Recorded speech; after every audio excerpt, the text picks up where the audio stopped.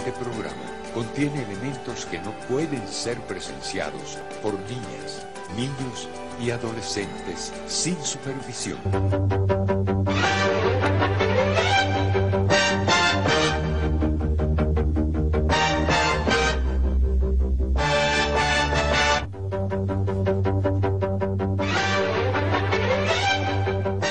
el impresionante Palacio de las Convenciones, en La Habana, en la hermana República de Cuba. Frei Beto, qué mayor presentación. Acaba de recibir el Premio Internacional de la UNESCO. ¿Cómo se llama ese premio? Se llama Prêmio José Martí. É um prêmio que é concedido àqueles que se destacam em América Latina e Caribe por la luta a favor da justiça, da paz, dos direitos humanos. Eh, antes de mim, este prêmio ha sido eh, entregue ao comandante Chávez, a Tírio Boron, intelectual de Argentina, a Pablo González Casanova, intelectual de México, e ao famoso pintor que já não está entre nós outros, Guayasamín, de Equador.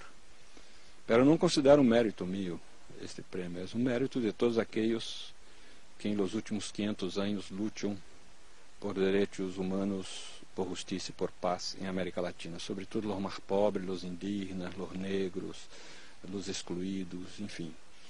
E creio que eles têm um mérito por esse prêmio, porque cada um de nós outros é fruto das escolhas, das opções que hace durante a vida. E as minhas sempre ha seguido o princípio que eu prefiro equivocar-me com os pequenos do que ter a certeza de acertar com os grandes. Eso lo define a usted y a su conducta, que define más que las palabras, pero ambas coinciden y eso no siempre se da en esa coherencia a nivel intelectual y a nivel de la praxis, ¿no? Ahora, el, la dicotomía que algunos plantean entre religión y actitudes políticas progresistas, como el caso de los libros que vinculan a, Fidel Castro en esto y que usted ha manejado muy de cerca, ¿cuál es la realidad y la óptica hoy en el siglo XXI y en este momento? Bueno, muita gente se olvida que nós outros cristianos somos todos discípulos de um prisioneiro político. Jesus não ha sido morto de hepatite na cama, nem de um desastre de camellos em uma esquina de Jerusalém. Jesus ha sido morto como muitíssima gente em los anos 70, 80 em América Latina. Ha sido preso, torturado e condenado à morte em la cruz por dois poderes políticos. A pergunta é outra: é que significa ser cristiano hoje em América Latina sem que nossa fé não tenha repercussões sociais, políticas e econômicas? Ou seja, o principal compromisso de um cristiano tem que ser com os mais pobres e excluídos, porque com eles Jesus se ha identificado. Então, eu diria que a religião e a política são duas esferas eh, que nós outros, guardando a autonomia de cada uma, devemos saber estabelecer a relação de complementariedade entre as duas. É como entre nós outros a razão e o coração. Temos as duas dimensões e há que saber fazer a síntese. Usted me recordó los años cuando había dejado la Fuerza Aérea muy oportunamente antes del Plan Cóndor y estábamos hablando de los traperos de Maús, Taylor de Chardin y la formación de aquella izquierda ingenua pero imparable que dio lugar incluso a la formación de un frente amplio en Uruguay, ¿no? Cuando la ortodoxia venía de Moscú y los secretarios generales de los partidos nos decían, pero ¿con quién? ¿Con ustedes? Esas realidades están cambiando, ¿no? ¿Cómo la capta usted? Sim, felizmente, porque há uma parte da esquerda em América Latina que ha cometido o equívoco de importar os modelos e as ideias europeias como dogmas e que não se aplicavam a nós outros aqui em América Latina. Eh, eu sempre ha dicho, a, por exemplo, aos companheiros de México, eh, ustedes que lutam por la independência de México, por la liberação de México, não vão a nenhuma parte mientras la companheira Guadalupe não vá junto. Por quê? Porque a primeira compreensão de um mundo, de um latino-americano, de um caribenho, é de, é de matiz religioso. Um obreiro, um campesino, um desempregado, pergunta a ele que pensa da vida, do mundo, de seu destino, seguramente vai dar uma resposta de caráter religioso. Então, eh, a esquerda ha cometido um equívoco tremendo em América Latina, um certo setor, dessa coisa de ateísmo, dessa coisa de ter uh, prejuízo à religião, que é ter prejuízo ao povo, porque o povo é muito religioso. Então, nós temos que saber articular e saber que a religião é um cuchillo que tem dois lados. Se pode servir como a política para oprimir, como pode servir para liberar. E, e, e a religião cristiana primitivamente, sobretudo no Império Romano, ha sido um, um fator muito forte de liberação, que incluso reconhecido por Engels em seu librito O Cristianismo Primitivo. ¿No era esta la etapa de un papa latinoamericano o africano? Sim, eu sempre recuerdo que Monsenhor Helder Câmara, que ha sido um bispo muito evangélico, muito progressista, propôs transferir o Vaticano para a América Latina. Primeiro porque somos o continente que atualmente tem maior número de católicos. E segundo porque aqui o Papa poderia viver de uma maneira mais simples, mais evangélica, e quizá donar o Vaticano para o patrimônio cultural da Unesco. Seria um resto evangélico muito significativo. E cada vez que você diz uma verdade tão grande como um templo, como a que acaba de dizer, que repercussão tem? Bueno, eu vivo em Brasil, em los dominicos de Brasil, que são muito abertos, muito progressistas. A Igreja de Brasil tem uma história relativamente progressista, então me sinto em casa, não tenho nenhum problema. Eu sei que em outras partes da América Latina, em que há setores da Igreja Católica que são muito tradicionalistas, que são fundamentalistas, eh, não aceitam muito minhas ideias, mas não me importa. Eu penso que o próprio Jesus eh, também ha sido rechaçado e, e digo que nós outros temos que ser sinal de contradição. Enfim, não me importa. Importa para mim é ser coerente com minhas convicções, com minha fé. Isso é o mais fundamental em minha opção de vida. Usted muy generosa y justicieramente nombró al comandante Chávez, que recibió el mismo premio que usted acaba de recibir, con mucho mérito y honra para todos los latinoamericanos. ¿Qué lectura le da usted a la doctrina transformada en praxis? Porque todos sabemos, los que hemos estudiado algo de la doctrina social de la Iglesia, que la fe sin obras es muerta, ¿no? Eso decían los grandes maestros de la Iglesia, ¿no? ¿Qué siente usted cuando Chávez saca el Cristo azul y hace política con él en la mano? Bueno, eu creio que Chávez está falando o linguagem do povo, o linguagem que o povo compreende. Porque muitas vezes sacaram a cruz de Cristo em América Latina para esclavizar a gente de África, para assassinar campesinos.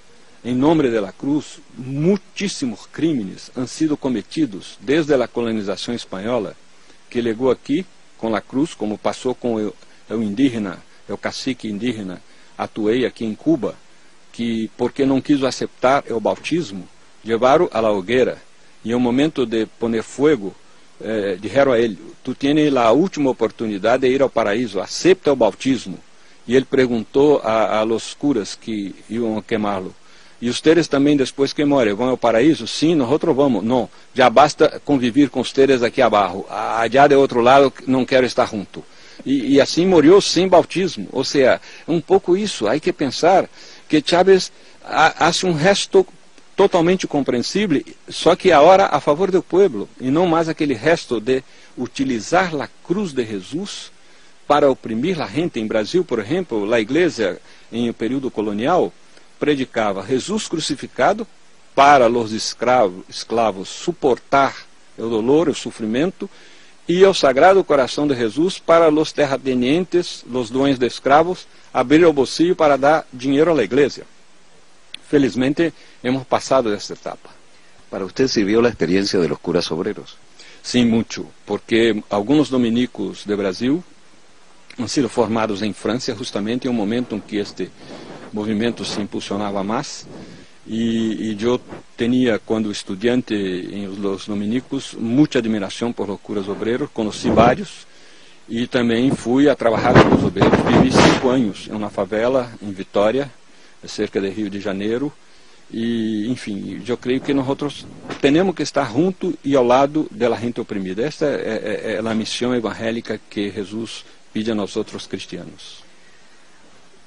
Para los que hemos sido militares, no hay nada, y que hemos sido formados en colegios de disciplina católica, no hay nada más parecido a la cadena de mando de la iglesia que la de la vida militar, ¿no? ¿Cuándo usted decide salirse de la cadena de mando y por qué? No, yo, yo no salí, yo sigo en la iglesia, yo sigo, vivo en un convento, o sea, no salí, porque ao menos em minha comunidade há um espírito e uma vivência muito democrática. Ou seja, eu sei que a igreja todavia comete o equívoco de ser uma instituição piramidal. O papado é a única monarquia absoluta atualmente da história do Ocidente e luto para cambiar isso. Eu, a mim me gostaria que o papado fosse uma direção colegiada como el grupo de Jesús y no... no... Teóricamente cuando se reúnen en la capilla Sixtina para decir habemos papa hay algo de colegiación, sí, pero eh, sí, ¿qué hay? Menos, ¿Un Espíritu Santo o no? Sí, hay, al menos hay que haber elección, un Espíritu Santo que quizás sea muy incomodado con tanta política que hay por debajo, ¿no? Enfim, e, mas aí é o único momento, porque depois o Papa tem todo o poder sobre as decisões na Igreja. E, e, a mim me gostaria que o Papa ao menos consultasse mais a menudo eh, lo, los cardenales, né, sus, sus, principais assessores. No fundo de seu coração, você não esperava um Papa brasileiro? Não, eu não espero um Papa, eu espero um Papa mais aberto e capaz de compreender os cambios que vivimos hoje. Um Papa capaz de dialogar com as ciências, com a biotecnologia, com a biogenética, um Papa capaz de compreender melhor toda a devastação ambiental, um Papa capaz de compreender melhor la, as culturas, a multicultura que há neste mundo de hoje, respeitar a cultura de África, de América Latina, de Ásia, que não é a mesma da Europa. É, um Papa mais evangélico, que tenha uma vida mais sencilla, é, e um Papa que aceita la participación de las mujeres en la iglesia, incluso como sacerdotes y obispos. Este es mi sueño como católico y como cristiano. ¿Está cansada la iglesia de Europa?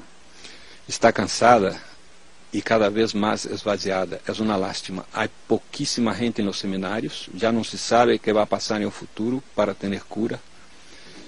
Porque una iglesia eh, que no entró en la modernidad, uma igreja que todavia mantém uma estrutura de paróquias, que é um, um dibujo geográfico de zona, e a gente não está mais cerca um, um de outro por ser vecino geograficamente. Graças aos meios eletrônicos hoje, tu melhor amigo pode viver em Tóquio e tu em Caracas. Ou seja, a igreja não ha acompanhado, lamentavelmente, esse momento, e sobretudo é, o Concílio Vaticano, que ha sido um, um avanço muito importante, não ha sido implementado em la prática como deveria. E la, la, o problema de, de la moral sexual, que a igreja está muito atrasada em isto, né, porque todavia predica que em um matrimônio não pode haver relações sexuais a menos que haja intenção de procriação. E para mim isso não é humano, isso é zoológico. Né? Assim hacen os animais e não os humanos, porque os humanos têm a expressão de carinho em um amor e, e sobretudo, também a, posição da igreja é absolutamente incompreensível, insuportável eh, frente ao SIDA, né, que é uma epidemia mundial e lá é o tabu que o católico não pode utilizar eh, eh, a, a proteção necessária para evitar a disseminação do SIDA. Ou seja, a igreja tem muito que avançar e nós outros que estamos dentro da igreja temos que seguir lutando para que isso passe. ¿Qué tan grave ha sido el manejo del concepto culpa en esto? Muito grave, porque primeiro Jesus predica é o amor, a compaixão, a misericórdia, a tolerância. E, como dizia Dostoevsky em sua anedota dentro de, de la famosa novela Los Hermanos Karamazov, a igreja vino a predicar a culpa, a disciplina, a autoridade, o poder, ou seja, ao contrário daquilo que está na predicação de Jesus. E a culpa eh, criou uma ética eh, de, que está muito vinculada ao conceito de pecado. Hoje, eu não conosco nenhum jovem em América Latina que esteja preocupado com pecado. Com exceção de uma minoria aí fundamentalista, não há nenhum jovem então isso criou uma situação muito complicada, porque todavia não legamos a la ética socrática baseada em la razão. Estamos em um limbo, estamos em um, um momento em que hemos salido de um mar do rio e todavia não chegamos a outro. Isso explica muito toda a corrupção que há hoje na política, na sociedade, né, relativização de valores. E aí Martí tem um papel muito importante em América Latina, porque Martí é a encarnação do homem ético. Então, cada vez mais devemos eh, basear a ética não em um sentimento de culpa, porque eu ha cometido uma ofensa a Deus, mas em la razão humana, eu não posso cometer uma ofensa a mim próximos, a mim semelhante. E, e, e, o Evangelho predica isso, que Deus só pode ser reconhecido em la persona e não em si mesmo. Ou seja, quem, a carta de São Juan diz, quem ama a Deus e está de espalda ao próximo não ha entendido nada. Pero aquele que sirve ao próximo, este sim sirve a Deus. Isso nos leva a outro enfoque, la, la opción por los pobres que representan tanto Fidel Castro como el comandante Chávez. ¿Qué lectura le da a usted desde un punto de vista cristiano? Não, é, é, muito sencillo isto, porque em o capítulo 25 do Evangelho de São Mateus está muito claro em la boca de Jesus. Quando pergunto a Jesus, quem haverá de se salvar? E Jesus contesta, eu tive hambre e tu me has dado de comer. Eu tive sede e tu me has dado de beber. Eu estive prisioneiro e tu me has liberado. Ou seja, é, e depois vem uma pergunta, que está aí no Evangelho. Quando, Senhor? Eu não, não, não tinha fé. Eu não, não, não, não, não o conhecia. Cada vez que existe isto a um desses pequenos, a mim lo existe. Ou seja, então eu adito isto a Fidel. Não importa que tu não tenha fé. Aliás, eu não creio que Fidel seja ateu, é agnóstico. Né? Não importa que, pero Deus tem fé em ti. E mais, tu obra a favor do povo de Cuba, a favor do povo da América Latina e Caribe, é uma obra evangélica, que está aí quando Jesus, em Mateus, afirma que aquele que ha dado de comer, que ha dado de beber, que ha liberado, esse hace a vontade de Deus, mesmo que não tenha a crença em Deus. Ou seja, nós outros não nos salvamos por a quantidade de fé que temos, por a quantidade de esperança que podemos. Nos salvamos por a intensidade de amor de que somos capazes em nossa vida. E amor é sair de si para o outro. Então, estou convencido que tanto Chávez quanto Fidel vivem dentro de la proposta evangélica, porque han donado sua vida a los demás. Podiam estar muito cômodos aí, vivendo como burgueses, eh, enfim, tranquilo com muita gente. Não, arriscaram toda a sua vida para que outros tenham vida. Isso é o mais evangélico que há. Bueno, volvemos a aquello, el postulado, ¿no? La fe sin obras es muerta. ¿no? Exatamente, que é uma frase de Santiago em las cartas eh, em o Novo Testamento. Se não há obras, não há fé. E, e quando há obras sem fé, essa obra tem valor salvífico, valor teológico e evangélico.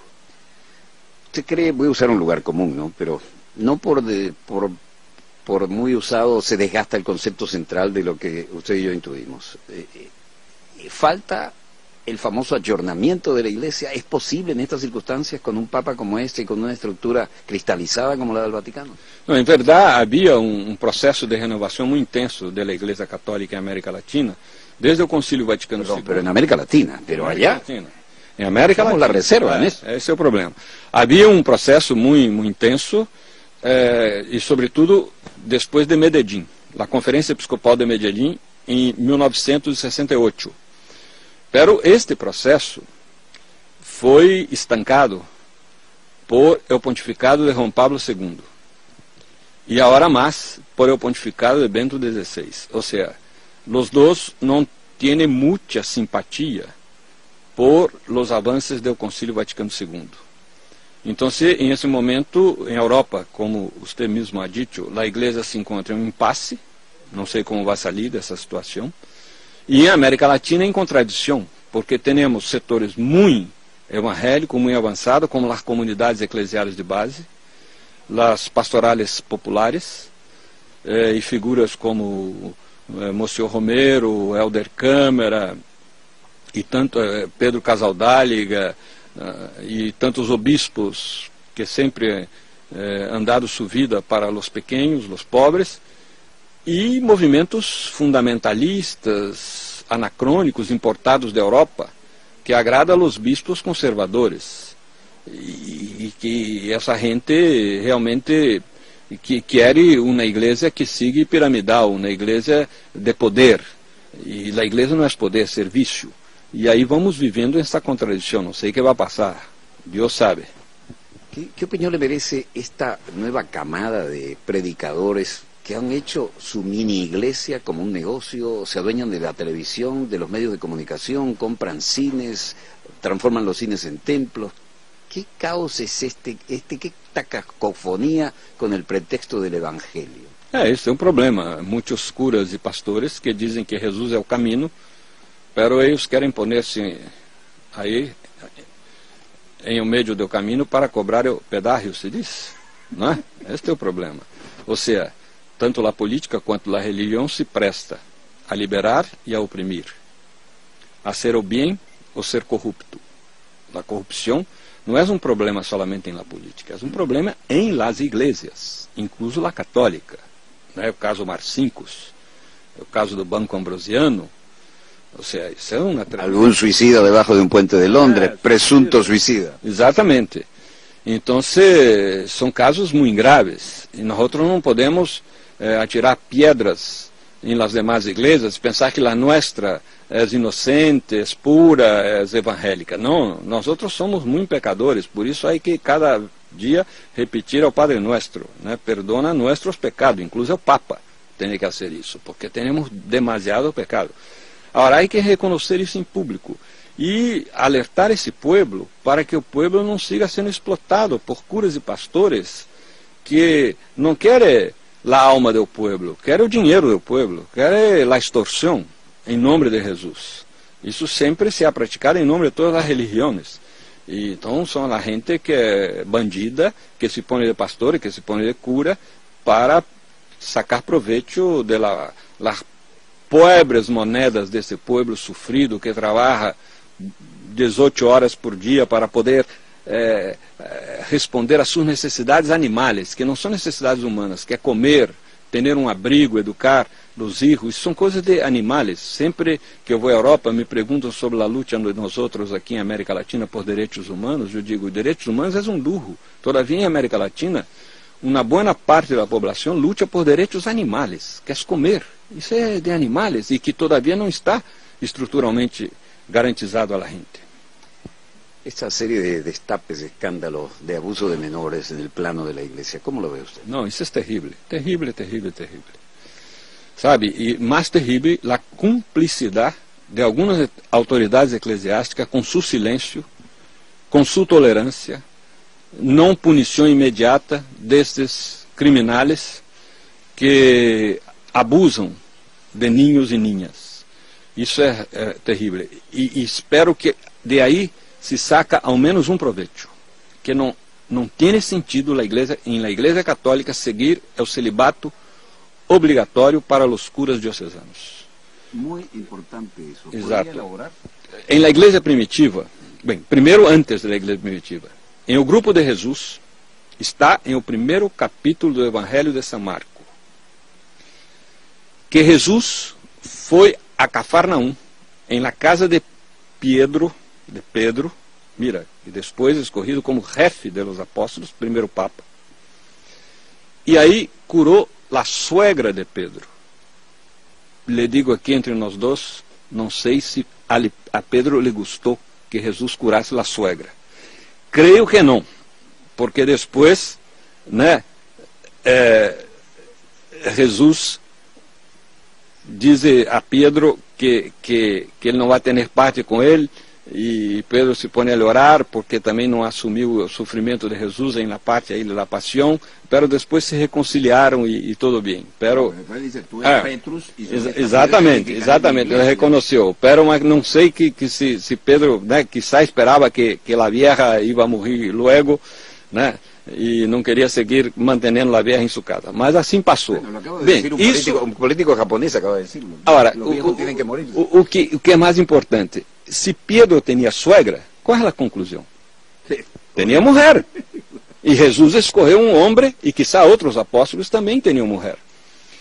Então, não há, não há sentido. Em la igreja primitiva, os curas casavam, os obispos não. Então, há que deixar essa liberdade de loucura, porque uma coisa é a vocação ao celibato, outra coisa é a vocação ao sacerdócio. Há algumas pessoas que têm a doble vocação, mas são raros. Então, o que passa? Passa uma doble moral. Curas que são objetivamente célibes, mas em la vida privada não. E pior, praticam a pedofilia. Isso é que é terrível.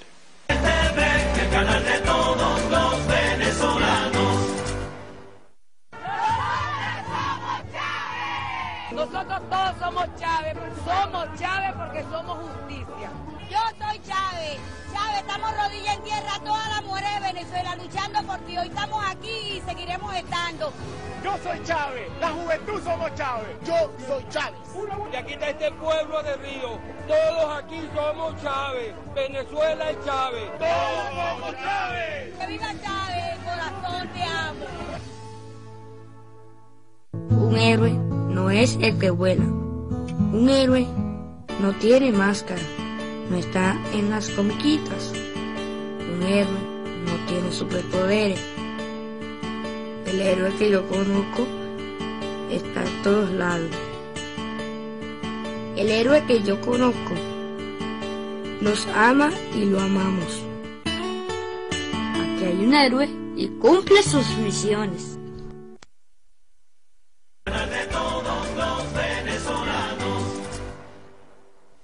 hablando de ideales frustrados, ¿cómo, cómo ve usted algunos muy realizados en, esta, en, este, en este entorno en que estamos privilegiados aquí en La Habana, Cuba? ¿Qué tal la vigencia del pensamiento de Martí? Sí, eh, Martí é um caso quase único em América Latina. Em Brasil não temos nenhuma figura semelhante. Né? Quizá Bolívar, Mariátegui. Há poucas figuras que se pode dizer que estão é o mesmo nível de Martí na história da América Latina. Então, se Martí não pertence a Cuba. Eu já disse isto a Fidel. Vocês não, não têm direito de, de não praticar o socialismo com Martí, né, querendo que Martí seja propriedade privada dos cubanos. Martí pertence a toda a América Latina e Caribe por seu pensamento, por sua experiência, por seu exemplo de vida. E Martí é pluridimensional porque há um Martí político, há um Martí revolucionário, há um Martí científico-social, há um Martí novelista, há um Martí poeta, há um Martí com contos para ninhos, periodista, periodista sabe? E aí a hora que se descobre um Martí ecológico. Então, quizá amanhã vamos descobrir mais outras dimensões de Martí. É, porque é de, é de, uma atualidade impressionante. A sensação que se tem quando um se põe a ler Martí é que ele está vivo, e que acaba de mirar nas notícias de ayer e agora saca esse texto assim uma análise, porque, por exemplo, eh, Bati, eh, reconhecido eh, em Cuba e, e em América Latina como apóstolo, mas eu diria que não basta esse título, é também é o profeta. Por quê? Porque Martí foi aquele, por exemplo, que teve a antevisão do que ia significar o imperialismo dos Estados Unidos. Né? E estamos falando de, de, de, de meados do século XIX, e que todavia não havia essa política explicitamente agressiva. Empezava e ele pudo intuir isso e alertar a nós outros. Então, há que profundizar cada vez mais em o pensamento de José Martí. Tuviera, lo tiene ahora, mediante satélite estamos llegando a donde, y donde no llega el satélite llegan las páginas web. Tenemos televidentes hasta en Australia. Estamos, valga el lugar común de la ya un poco de moda tecnología, en la aldea global. Y el posicionamiento nuestro nos permite decir esto. Si usted tuviera que decirle algo con su sentido pastoral a quien está muy lejos de América Latina porque se fue a buscar una vida y tal vez la encontró y tal vez no, y nos sigue a través de esto, ¿Cuál sería el mensaje desde su profunda vivencia cristiana en este mundo interconectado vía satélite, donde todo lo que ocurre parece que nos afecta de una manera o de otra? Eu diria duas coisas. Primeiro, é, você, latino-americano, caribenho, que vive em Austrália, ou que vive em Tóquio, quizá que vive em uma parte de China.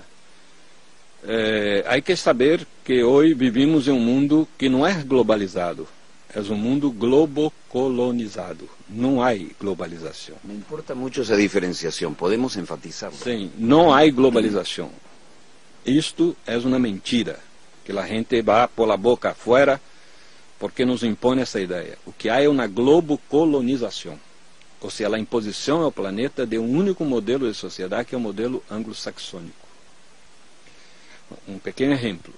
Eu estive em Pequim, Beijing. Aí encontrei uma tienda de música que tinha uma grande foto de Michael Jackson. Não tenho nada contra. Pero jamás em América Latina ou em Estados Unidos encontrei uma grande foto na casa de música de um cantante chino. Então, em verdade, quando hablo com os muchachos nas escolas, qual é o país que produz mais película no mundo? Invariavelmente me contestam, Estados Unidos. E não é, é Índia. Aí hago a segunda pergunta. E quantas películas de Índia tu has visto em tua vida? Em Brasil, nenhuma. Não há películas de Índia. Então, eh, diria a esta pessoa que está muito erro, primeiro, tenha consciência que estamos em um mundo globocolonizado. E segundo, tenha orgulho, sano orgulho de sua identidade cultural, de suas raízes. Sabe, não queira fazer de conta que tem outra cultura, outras raízes, outros valores. Ou seja, é muito importante que cada um de nós tenha eh, esse sentimento de honor de viver segundo sua cultura. Eu mesmo digo que creio que uma das coisas que mais me ha impactado aqui em Cuba, eu sou um homem de fé, eu sou um, um fraile dominico, eu nunca tive vergonha e nunca me senti constrangido de manifestar minha vida de fé aqui em este país. Inclusive me chamou a atenção que quem mais falou de Deus hoje foi o Videl de Fidel, e não eu. Né? Quando apresentaram o Videl de Fidel aqui na abertura da Conferência de Equilíbrio do Mundo, Fidel sacou justamente um texto de Martí que habla de Deus, que Deus se identifica com a ideia de bem. Então, se, é, e, e, creio que o respeito que os cubanos têm a mim ha sido por essa coerência de, sabe, manifestar minha vida de fé. Ou seja, eu sou uma pessoa encantada por o amor de Deus. É isso que move minha vocação é, como cristiano e como religioso. Então, se, essas duas dimensões são muito importantes hoje. Ter ideia que estamos em um mundo globalizado e não ter vergonha de sua identidade cultural.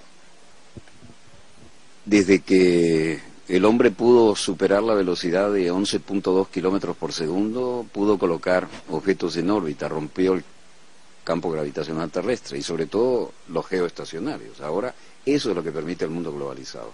Pero en base a qué valores. Es decir, nos han transformado en un mercado global, eso es obvio, o por lo menos lo intentan. Pero ¿cómo reivindicar en estos países que están buscando su lugar bajo el sol? ¿Cómo se ve en ese mundo que usted acaba de describir la posibilidad de una patria grande latinoamericana y caribeña? Bueno, eh, primero hay que alertar los padres, las familias, de que en este mundo globo, globo colonizado, eh, la mídia burguesa, a mídia capitalista, não quer formar cidadãos, quer formar consumistas. Esta é a grande contradição que se vive hoje em las famílias e em las escolas. Mientras la família a igreja e las, las escolas querem formar cidadãos, a mídia e a publicidade querem formar consumistas. Não interessa a eles que essa gente tenha valores. Interessa a eles que essa gente tenha muito consumo. E por isso é uma lástima que hoje os jovens não têm paradigmas, exemplos altruístas, como minha generação tuvo nos anos 60. Éramos admiradores de quem? De Gandhi, de Luther King, de Mandela, de Che Guevara ou de Jesus. Gente altruísta. Agora, quem são os exemplos de, de los muchachos e muchachas? São os atores e atrizes de Hollywood, é o exterminador do passado, do presente, do futuro. Ou seja, a gente que não tem valores. Tem beleza, tem riqueza, tem toda uma imagem que é produzida de que são muito felizes porque pode ser muito consumo. Ora, é, a nova frase cartesiana, não é mais penso, logo existo. É consumo, logo existo. E a segunda coisa que eu vou dizer, que para mim é muito importante. Eu tinha 20 anos em los anos 60. Eu sou da geração latino-americana militante da utopia. Havia droga, pero não havia drogados como agora. Por quê? Porque nós outros todos éramos viciados em utopia. Metíamos em la vena, em la sangre, utopia. Estou convencido, quanto mais utopia, menos drogas. E quanto menos utopia, mais drogas. Ou seja, o principal culpável do problema dramático das drogas no mundo de hoje se chama neoliberalismo consumista. Mientras nuestras ciudades siguen construyendo shopping center como verdadeiras catedrales de la pós-modernidade, mientras la publicidad estimula a gente a consumir lo supérfluo, mais droga vamos ter. E termino com uma terceira afirmação. Que cada drogado é um místico em potencial. Um drogado é uma pessoa que descobriu que a felicidade está dentro e não fora. Se tu tens um hijo drogado, tu pode dar um coche. Tu pode dar para ele uma casa em la playa. Tu pode dar um palácio. Ele vai vender isso para comprar a droga. Porque ele descobriu que a felicidade humana não está em nada que está fora de nós outros. Está dentro. O único problema é que nadie ha ensinado a ele é o caminho do absoluto. E ele vai para o caminho do absurdo.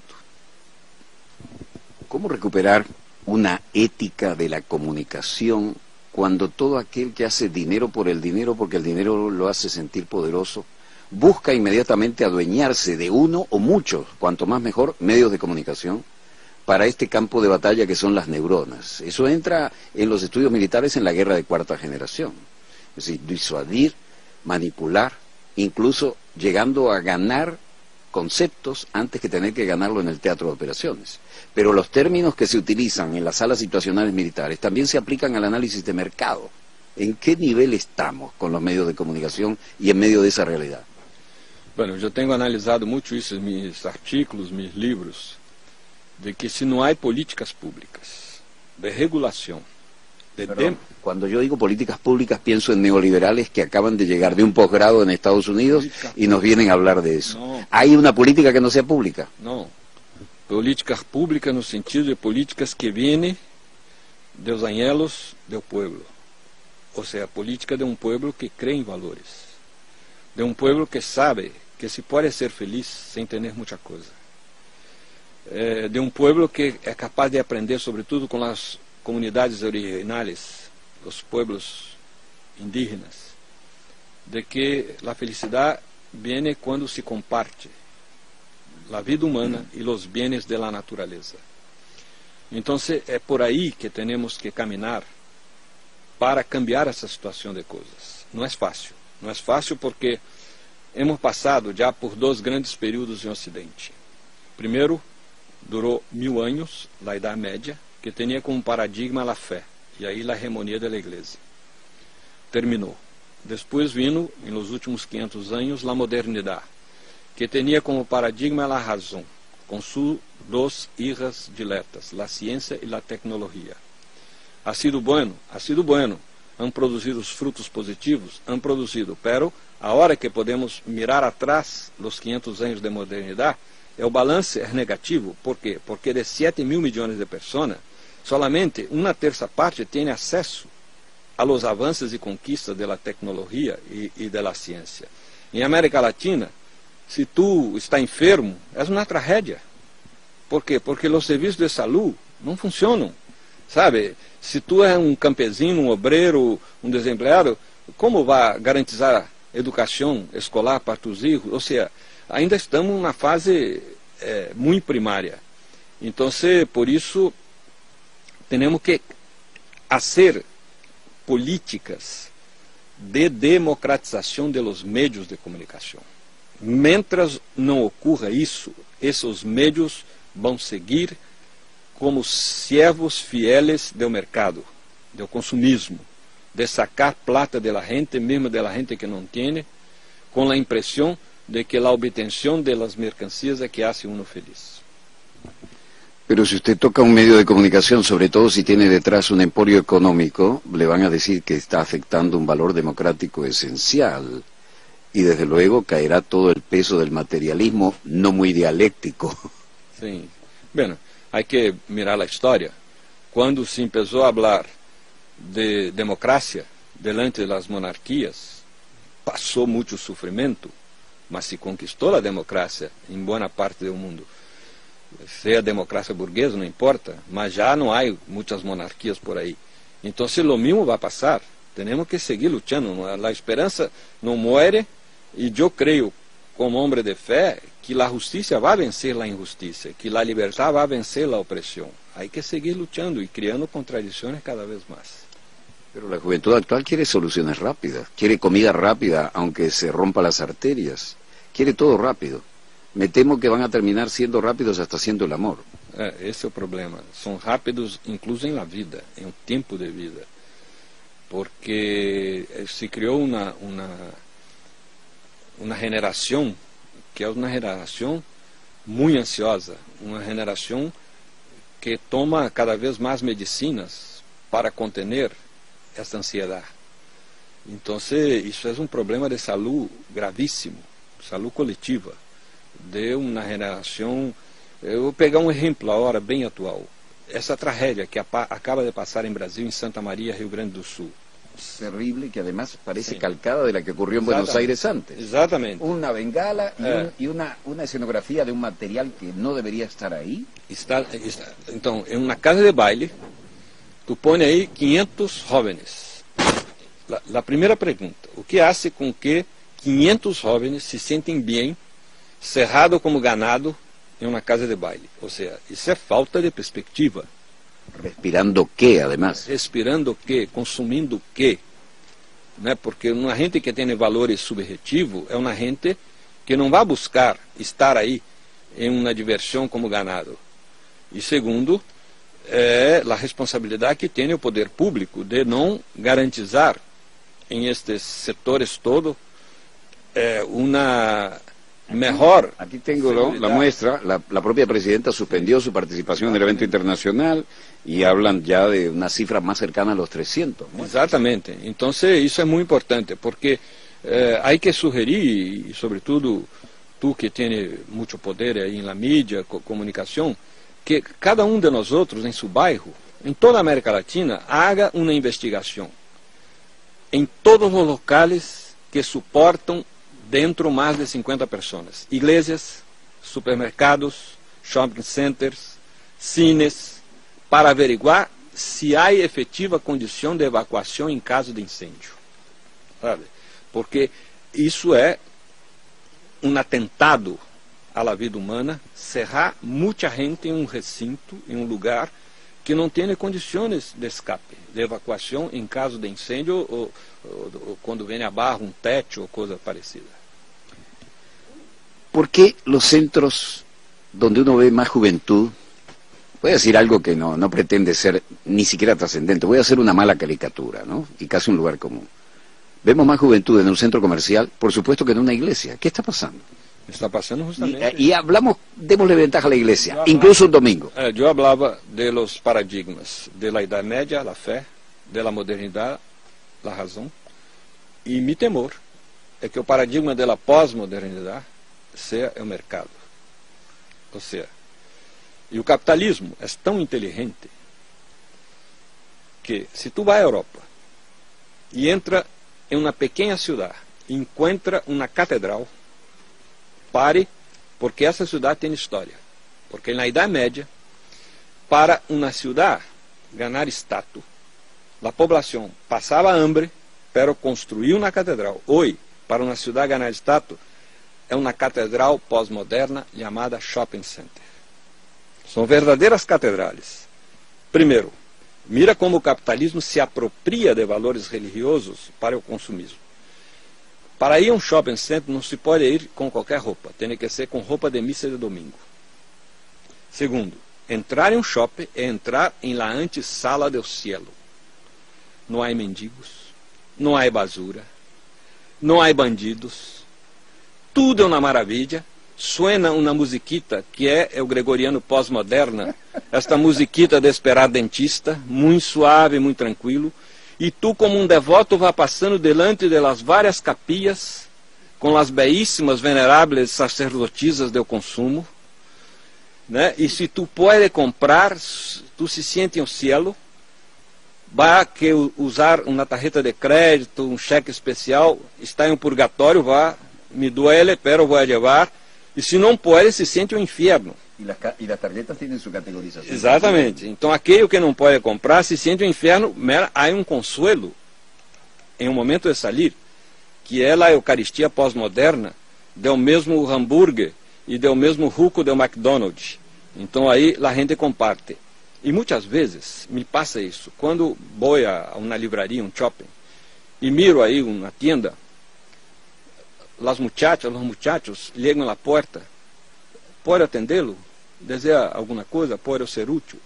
Eu contesto, não, estou é solamente fazendo um passeio socrático. Aí eles põem uns olhos assim, um pouco raros, e digo, mira, Sócrates ha sido um filósofo grego que morreu em um ano 399 a.C. E, como eu, quando tinha a cabeça cansada, ele ia a passear percorrer as tiendas de Atenas.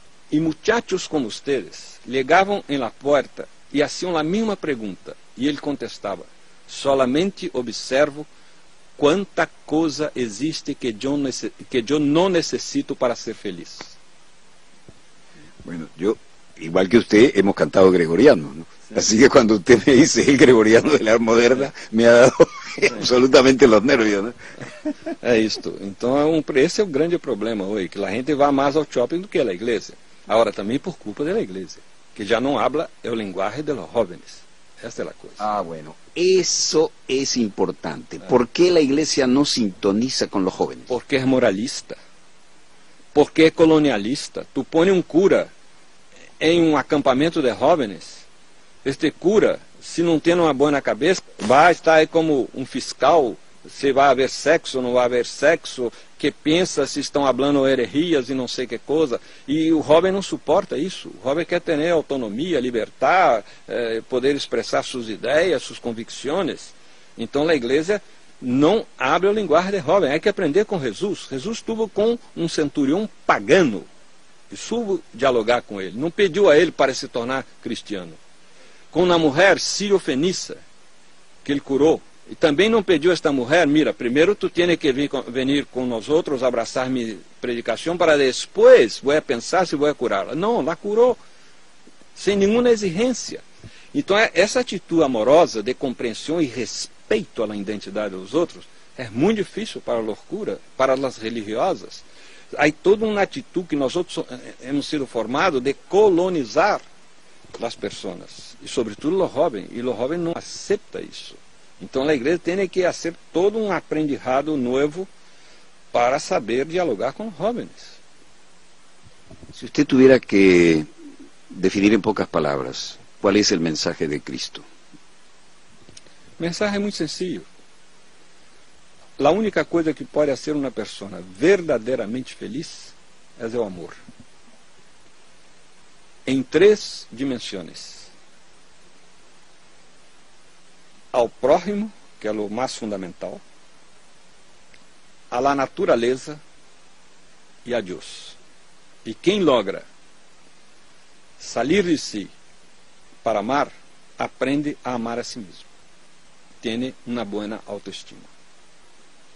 La barra autoestima vem justamente desta sociedade consumista egocêntrica que cada vez que tu põe a funcionar a televisão, há um montão de publicidade que te afirma que tu és uma pessoa muito infeliz porque não tem esse coche, não veste esta roupa, não utiliza essa tarreta, não é, sabe, como esses artistas, modelos que estão aí na peça publicitária, que são imensamente felizes, saudáveis, é, exuberantes. Então, é um massacre total de que tu és um infeliz. Quando a felicidade não está isso. E quero terminar com justamente esta fábula que havia em la feira de Calcutá, na feira pública. Tu imagina que é a feira de Calcutá pública, que dura toda a semana, não é uma vez por semana. Um mercado enorme. Uma berrita que entre toda a basura que estava no suelo, mirava, mirava mirava. E se tu em Caracas para em la calle e ponga a mirar em o suelo, pode estar seguro que por mimetismo outra gente vai mirar também. Ou vai pensar que tu ha encontrado um dinheiro, ou perdeu um dinheiro, um, um uma coisa aí. É, é mimético. E a gente se puso também a mirar. Hasta que um muchacho perguntou à senhora, mira, e que procura? Bueno, eu procuro uma agulha de ouro. Não, uma agulha. Mira, você é louca. Aqui há um montão de tiendas que vendem todo tipo de agulhas. E tu está buscando, e a gente já se iba. Quando ela disse, mas é uma agulha de ouro. Aí cambiou a coisa. A gente volvió a mirar o suelo. Né? E mira, e mira, e mira, hasta que o muchacho hace de novo outra pergunta. Senhora, não tem mais ou menos ideia de que parte do mercado você ha perdido essa agulha? Sim, sim, tenho. Não foi ao mercado, foi em minha casa. Você é louca. Você me disse que perdeu a agulha em la casa e está aqui buscando em o mercado, como vocês acham, com a felicidade. Está dentro de nós outros, pero vocês buscam fora. Ningún mejor mensaje para terminar esto. Pax gracias, hermana. Muchas gracias. Que Dios donde te quiera, bendiga. Amén. Y donde quiera que se encuentren de ese lado del receptor, hemos tenido un enorme placer de compartir este diálogo con ustedes y volveremos a vernos. Disponga usted de las cámaras, señor director.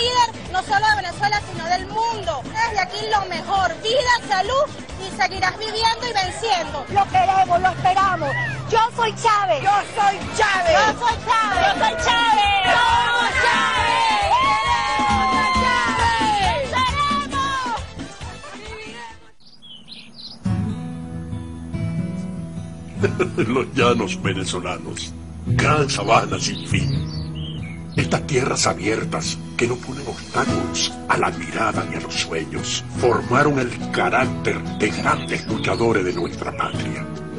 Así como el billete de cinco bolívares. Esta llanura es un bien de todos los venezolanos. Por eso debemos protegerlos y cuidarlos. Luis Cruz, aquí estoy recordándote con el mar de la esperanza. No vuelva nunca. Me voy de aquí, tal vez yo vuelva mañana. Y me llevo mi chinchorro y mi aterraya. Pero te dejo el anzuelo de mis sueños en el mar de la esperanza. La revolución avanza y Venezuela sigue creciendo. Concebida para reducir el índice de desempleo mediante la colocación de personas en los proyectos que lleva a cabo el gobierno nacional, se incorporan más de 117 mil trabajadores y trabajadoras formadas en la gran misión Saber y Trabajo, cumpliendo así con la meta establecida para el año 2012. Avanzamos en la construcción del modelo socialista. Turismo social, una experiencia de amor y humanidad revolucionaria. Con este turismo nosotros nos levantan el ánimo, nos levantan el autoestima, todas las abuelas. Muy buenas atenciones que nunca las hemos tenido. Eso tenemos que dárselo gracias al presidente. Ay, yo por el turismo social me siento muy contenta.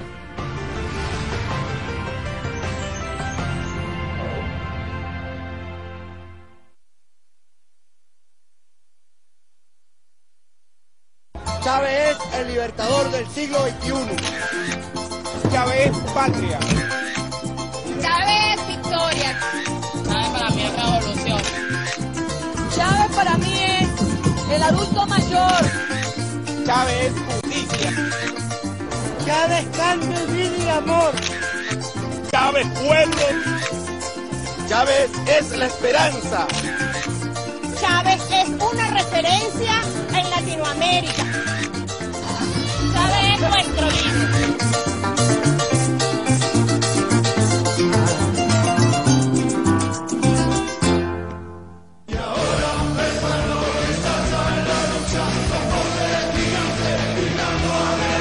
Comandante, rodilla en tierra, cuidando la revolución. Nosotros aquí defendemos la patria. Presidente, yo quiero que te quiero que te sane. Te esperamos para seguir con esta revolución. Para adelante, comandante. Chávez, te quiero. Te estamos esperando. En unión de nuestro Señor Jesucristo, le damos, presidente, la pronta recuperación de usted se encuentra. Queremos que venga sano, queremos que venga fortalecido. Eres y seguirá siendo nuestro guía. Queremos que usted siga en esta lucha. Deseamos que él retorne con los mismos bríos que ha tenido siempre para lograr seguir engrandeciendo la revolución bolivariana venezolana. Tenemos un proyecto de país, por eso la juventud lo espera, con el alma y el corazón llena de fuerza para seguir consolidando la patria independiente, la patria libre, soberana y que junto a usted la podremos consolidar. Hasta la victoria siempre. Viviremos y venceremos. Somos una patria, un solo corazón. Situado en el Caribe al noreste de Venezuela, Falcón posee una ubicación privilegiada. Sol, playa, hermosos médanos, tradición, patrimonio cultural ecológico, científico y religioso forman parte de la extensa gama de productos turísticos que Falcón ofrece a sus visitantes. Su capital, la ciudad de Santa Ana de Coro, fue la primera capital política de Venezuela y sede del primer obispado de Sudamérica en 1531.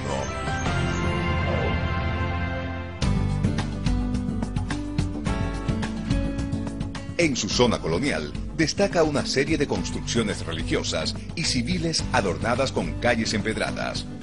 Se aprecia en el paisaje arquitectónico de la época y en el perímetro declarado por la UNESCO como Patrimonio Cultural Mundial la Iglesia San Francisco, la Cruz de San Clemente, construida en 1866.